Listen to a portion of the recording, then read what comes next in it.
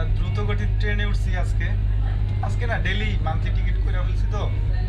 Daily মোটামুটি আসা যাওয়া হয় ট্রেনে। কিন্তু ট্রেন একেবারেই ফাঁকা ট্রেন। কোনো মানুষজন নাই। আমি বুঝি না, এইসব ট্রেন মানে এত দামি দামি ট্রেন, এগো টাকা পয়সা আসে কীভাবে? মানে এগো টাকা, সরকার এই ট্রেন সেক্টর থেকে টাকা কামায় কীভাবে? আর সেই তুলনায় বাংলাদেশের ট্রেনে তো মানে ছাদেও জায়গা হয় না।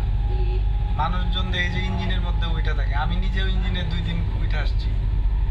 আর এখানে পুরো ট্রেনই মনে হইতেছে আমার ট্রেন কেউ ঘুমাইলেও কেউ কিছু বলবে না। ট্রেন নিয়ে গেলেও মনে হয় কেউ কিছু টের পাবে না। একটা অদ্ভুত ব্যাপার। ট্রেনের স্পিড কিন্তু প্রচুর স্পিড একশো ষাট কিলোমিটার বেগে যাইতেছে এই জিনিসগুলো আর কি অবাক লাগে যে কোনো কোথাও কোনো লোক নাই জ্যাম নাই। এরা আর্নিং সোর্স কোথায়? এটাও বুঝতেছি না আর এত উন্নত হইল কেমনে বাংলাদেশ, এত জনসংখ্যার দেশ হওয়া সত্ত্বেও বাংলাদেশ উন্নত না, অথচ এখানে কোনো লোকই নাই। ঠিক মাথায় ধরতেছে না। আমরা চাইলে আমাদের দেশকে আরও উন্নত করতে পারব বলে মনে হয় কারণ আমাদের দেশে তো অনেক লোক। লোকগুলো যদি একসাথে কাজ করতো সবাই, তাইলে মানে ইউরোপের থেকে উন্নত একটা কান্ট্রি আমরা পাইতাম। আফসোস।